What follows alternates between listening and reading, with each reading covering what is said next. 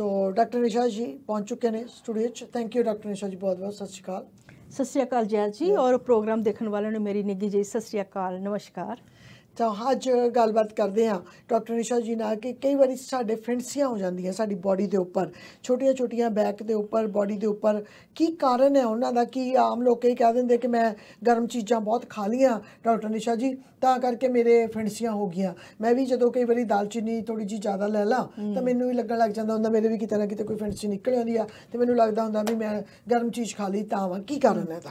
ਬਿਲਕੁਲ ਜੈ ਜੀ ਇਸ ਤਰ੍ਹਾਂ ਕਿ ਇਹ ਨਹੀਂ ਗਰਮੀ ਗਰਮੀ ਸਰਦੀ ਤੇ ਖੈਰ ਮੈਡੀਕਲੀ ਨਹੀਂ ਇੰਨਾ ਕੰਸੀਡਰ ਕਰਦੇ। ਸਿੱਧਾ ਗੱਲ ਹੈ ਕਿ ਇਹ ਮੰਨ ਕੇ ਚਲੋ ਕਿ ਤੁਹਾਡੇ ਅੰਦਰ ਕੋਈ ਨਾ ਕੋਈ ਪ੍ਰੋਬਲਮ ਹੈ ਹੀ. ਤਾਂ ਹੀ ਇਹ ਤੁਹਾਨੂੰ ਫਿੰਸੀਆਂ ਨਿਕਲਦੀ ਪਈਆਂ ਨੇ। ਸਭ ਤੋਂ ਪਹਿਲੇ ਹੈ ਕਿ ਜਿੱਦਾਂ ਸਕਿਨ ਸਾਡਾ ਲਾਰਜੈਸਟ ਆਰਗਨ ਹੈ ਬਾਡੀ ਦਾ। ਜੇ ਤੁਹਾਡਾ ਲੀਵਰ ਸਾਫ਼ ਨਹੀਂ ਹੈ ਲੀਵਰ ਵਿੱਚ ਤੁਹਾਡਾ ਟੌਕਸਿਨ ਭਰੋਚੇ ਦੇ ਇਨਫੈਕਸ਼ਨ ਹੈ ਜਾਂ ਕੁਝ ਕਿਸੇ ਕਾਰਨ ਜਾਂ ਤੁਹਾਡਾ ਪੇਟ ਸਾਫ਼ ਨਹੀਂ ਹੈ ਜਿਹਨਾਂ ਨੂੰ ਕਬਜ਼ੀ ਰਹਿੰਦੀ ਉਹਨਾਂ ਨੂੰ ਪਤਾ ਹੀ ਹੈ ਜਾਂ ਜਿਨ੍ਹਾਂ ਦੇ ਗਲੇ 'ਚ ਰੇਸ਼ਾ ਵਗੈਰਾ ਰਹਿੰਦਾ ਹੈ ਐਲਰਜੀਜ਼ ਰਹਿੰਦੀਆਂ ਤੇ ਉਹਨਾਂ ਦੇ ਵੀ ਹੁੰਦਾ ਕਿ ਸਕਿਨ ਜਿਹੜੀ ਹੈ ਉਹ ਆਪਣੇ ਅੰਦਰ ਦੇ ਆਰਗਨ ਜਿਹੜੇ ਪ੍ਰੋਟੈਕਟ ਕਰਨ ਵਾਸਤੇ ਕਿ ਮੇਰੇ ਅੰਦਰ ਦੇ ਆਰਗਨ ਬਚਾਉਣ ਵਾਸਤੇ ਸਕਿਨ ਆਪਣੇ ਤੋਂ ਉੱਤੇ ਲੈ ਲੈਂਦੀ ਹੈ। ਜਿਸ ਲਈ ਤੁਹਾਡੇ ਸਕਿਨ ਚੇਂਜ ਦੇ ਚੇਂਜ ਹੁੰਦੀ ਹੈ ਕਲਰ ਚੇਂਜ ਹੁੰਦਾ ਹੈ ਕਈਆਂ ਨੂੰ ਮੋਟੇ ਮੋਟੇ ਫੀਸੀਆਂ ਹੁੰਦੀਆਂ ਨੇ ਕਈਆਂ ਨੂੰ ਫੁੱਲਬੈਰੀ ਵੀ ਹੋ ਜਾਂਦੀ ਕਈਆਂ। ਨੂੰ ਹੈਨਾ. ਤੇ ਕਈਆਂ ਦੇ ਕਾਲੇ ਕਾਲੇ ਪੈ ਜਾਂਦੇ ਨੇ। ਕਈਆਂ ਦੇ ਲਾਲ ਲਾਲ ਰੰਗ ਦੇ ਦਾਣੇ ਨਿਕਲਦੇ ਨੇ। ਸੋ ਜਿਸ ਤਰ੍ਹਾਂ ਦੇ ਵੀ ਨਿਕਲਦੇ ਇਹਦਾ ਮਤਲਬ ਹੈ ਕਿ ਇੱਕ ਤੇ ਤੁਹਾਡਾ ਅੰਦਰ ਬਾਡੀ 'ਚ ਟਾਕਸਿਨ ਜਮਾ ਨੇ ਟਾਕਸਿਨ ਬਾਹਰ ਨਹੀਂ ਆਉਂਦੇ ਪਏ ਔਰ ਉਹ ਰਸਤਾ ਲੱਭਦੇ ਪਏ ਕਿ ਕਿੱਥੋਂ ਨਿਕਲੀਏ।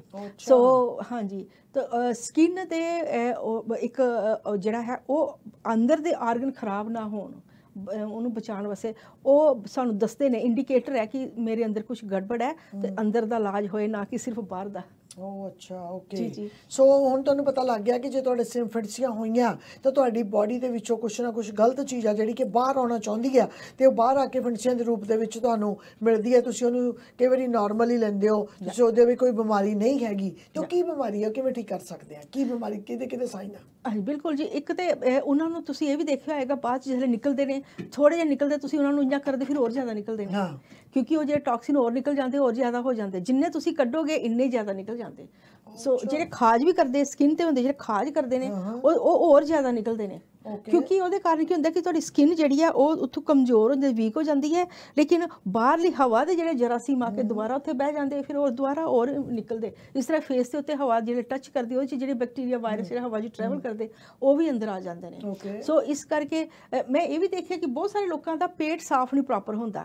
ਜਾਂ ਕਬਜੀ ਰਹਿੰਦੀ ਹੈ ਜਾਂ ਕਈਆਂ ਨੂੰ ਪਤਾ ਹੀ ਨਹੀਂ ਕਿ ਮੈਨੂੰ ਕਬਜੀ ਰਹਿੰਦੀ ਹੈ ਪੇਟ ਪੂਰਾ ਸਾਫ਼ ਨਹੀਂ ਹੁੰਦਾ।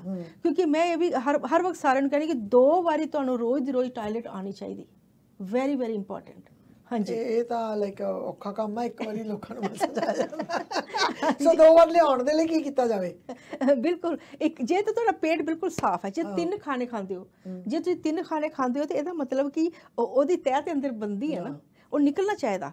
ਤਿੰਨ ਜਾਂ ਚਾਰ ਘੰਟੇ 'ਚ ਤੁਹਾਡਾ ਪੇਟ ਪੂਰਾ ਸਾਫ਼ ਹੋ ਜਾਂਦਾ ਹੈ। ਓਕੇ ਲੇਕਿਨ ਅਗਰ ਤੁਹਾਡਾ ਅੰਦਰ ਤਹਿ ਜੰਮਦੀ ਹੈ ਉਹ ਲਿਪਈ ਹੈ ਤੇ ਹੋਰ ਤੁਸੀਂ ਖਾ ਲਿਆ ਉਹਦੀ ਤਹਿ ਜੰਮ ਗਈ ਫਿਰ ਉਹ ਰਾਤ ਨੂੰ ਖਾ ਲਿਆ ਉਹ ਵੀ ਤਹਿ ਜੰਮ ਗਈ। ਤੋ ਇਹਦਾ ਮਤਲਬ ਕਿ ਜਿੰਨੀ ਦੇਰ ਸਾਨੂੰ ਵਾਸ਼ਰੂਮ ਨਹੀਂ ਆ ਜਾਂਦਾ ਸਾਨੂੰ ਹੋਰ ਨਹੀਂ ਖਾਣਾ ਚਾਹੀਦਾ।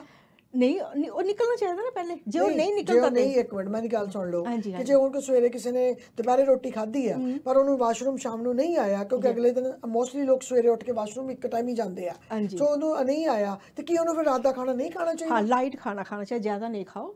ਭੁੱਖ ਤੇ ਲੱਗੇਗੀ ਉਹਨਾਂ ਨੂੰ ਭੁੱਖ ਤਾਂ ਜਾਣ ਤਾਂ ਨਿਕਲਦੀ ਲੱਗਦੀ ਹੈ ਹਾਂਜੀ। ਉਹ ਮੈਂ ਭੁੱਖ ਤੇ ਲੱਗਦੀ ਹੈ ਪਰ ਕਈਆਂ ਨੂੰ ਜਿਹੜਾ ਬਹੁਤ ਜ਼ਿਆਦਾ ਟਾਈਟ ਹੋ ਜਾਂ ਸਿਸਟਮ ਜਿਹੜਾ ਹੁੰਦਾ ਉਹਨਾਂ ਨੂੰ ਭੁੱਖ ਵੀ ਨਹੀਂ ਲੱਗਦੀ। ਓਕੇ ਬਹੁਤ ਸਾਰੇ ਲੋਕੀ ਕਹਿੰਦੇ ਸਾਨੂੰ ਭੁੱਖ ਬਹੁਤ ਘਟ ਗਈ ਹੈ ਸਾਨੂੰ ਭੁੱਖ ਹੀ ਨਹੀਂ ਲੱਗਦੀ ਨਹੀਂ ਹੈ। ਅਸੀਂ ਤਾਂ ਟਾਈਮ ਦੇਖ ਕੇ ਘੜੀ ਦੇਖ ਕੇ ਖਾਣਾ ਖਾ ਲੈਂਦੇ ਹਾਂ ਹਾਂਜੀ। ਠੀਕ ਹੈ? ਦੂਜੀ ਗੱਲ ਇਹ ਜੇ ਮੈਂ ਜੇ ਲੀਵਰ ਦੀ ਗੱਲ ਕੀਤੀ ਹੈ ਅਗਰ ਟਾਕਸਿਨ ਜਮਾ ਹੁੰਦੇ ਨੇ ਸਭ ਤੋਂ ਪਹਿਲੇ ਤੁਹਾਡੇ ਅੰਦਰ ਲੀਵਰ ਦੇ ਅੰਦਰ ਟਾਕਸਿਨ ਜਮਾ ਹੁੰਦੇ ਨੇ।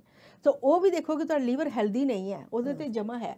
ਜਿਸ ਲਈ ਮੇਰੇ ਕੋਲ ਪੇਸ਼ੈਂਟ ਆਉਂਦੇ ਪਏ ਪਹਿਲੇ ਉਹ ਵੀ ਹੁੰਦਾ ਕਿ ਤੁਹਾਡੇ ਇਨਫੈਕਸ਼ਨ ਜਿਹੜੀ ਹੈ ਉਹ ਕਲੀਅਰ ਹੋਏ। ਤੁਹਾਡਾ ਲੀਵਰ ਜਿਹੜਾ ਉਹ ਡੀਟੌਕਸ ਹੋਏ ਕਲੀਨ ਹੋਵੇ ਤੁਹਾਡਾ ਕੋਲਨ ਜਿਹੜਾ ਉਹ ਕਲੀਨ ਅ, ਸਾਫ਼ ਹੋਵੇ। ਜਿਸ ਲਈ ਸਾਫ਼ ਕਰਨੇ ਆ ਹਰ ਇੱਕ ਨੂੰ ਦੋ ਵਾਰੀ ਟਾਇਲਟ ਆਂਦੀ ਆਂਦੀ ਹੈ। ਓਕੇ। ਜਿਵੇਂ ਟ੍ਰੀਟਮੈਂਟ ਕਰਦੇ ਨੇ। ਉਹ ਮੈਂ ਮੇਕ ਸ਼ੋਰ ਕਰਨੀ ਸਾਰਿਆਂ ਨੂੰ ਪੁੱਛਣੀ ਵੀ ਆ। ਕਿ ਕਹਿੰਦੇ ਇੱਕ ਵਾਰੀ ਆਂਦਾ ਠੀਕ ਹੈ ਠੀਕ ਹੈ। ਮੈਂ ਕਹਿੰਦੀ ਦੋ ਵਾਰੀ ਆਣੀ ਚਾਹੀਦੀ. ਉਹਦੇ ਨਾਲ ਤੁਹਾਡਾ ਸਕਿਨ ਵੀ ਇੱਕ ਇੱਕ ਤੇ ਸਾਫ਼ ਹੋ ਜਾਏਗੀ। ਤੁਸੀਂ ਦੇਖੋਗੇ ਇੱਕ ਫਰੈਸ਼ਨੈਸ ਆਏਗੀ। ਇੱਕ ਮਤਲਬ ਜਿਹੜਾ, ਚਿਹਰਾ ਜਿਹੜਾ ਤੁਹਾਡਾ ਝੁਰੜੀਆਂ ਵਾਲਾ ਨਹੀਂ ਹੋਏਗਾ ਇੱਕਦਮ ਸਾਫ਼ ਹੋ ਜਾਂਦਾ ਕਲੀਅਰ ਹੋ ਜਾਂਦਾ। ਔਰ ਦੂਸਰੀ ਗੱਲ ਹੈ ਅੱਖਾਂ ਵੀ ਸਾਫ਼ ਹੋ ਜਾਂਦੀਆਂ। ਅੱਖਾਂ ਵੀ ਕਲੈਰਿਟੀ ਆਉਂਦੀ ਹੈ ਦੱਸੋ ਹੁਣ ਆਪਣੇ ਕੋਲ ਸਿਰਫ 2-4 ਮਿੰਟ ਬਾਕੀ ਰਹਿ ਗਿਆ ਕਿ ਦੋ ਵਾਰੀ ਲਿਆਉਣ ਦੇ ਲਈ ਕੀ ਕਰਨਾ ਚਾਹੀਦਾ? ਦੋ ਵਾਰੀ ਵਾਸਤੇ ਸਭ ਤੋਂ ਪਹਿਲੇ ਜ਼ਿਆਦਾ ਜ਼ਰੂਰੀ ਤੁਸੀਂ ਹਰੀਆਂ ਸਬਜ਼ੀਆਂ ਖਾਓ। ਆਪਣੇ ਲੋਕੀ ਦੇਖੋ ਫਰੂਟ ਘੱਟ ਖਾਂਦੇ ਨੇ ਸਬਜ਼ੀਆਂ ਘੱਟ ਖਾਂਦੇ ਨੇ.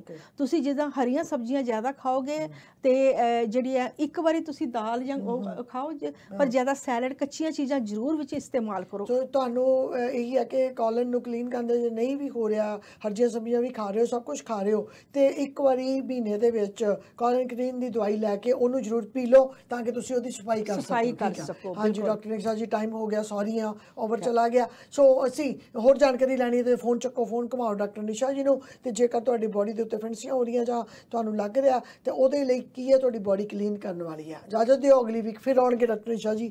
ਅਗਲੀ ਗੱਲ ਪੁੱਛਾਂਗੇ। ਸਤਿ ਸ਼੍ਰੀ ਅਕਾਲ ਜੀ। ਸਤਿ ਸ਼੍ਰੀ ਅਕਾਲ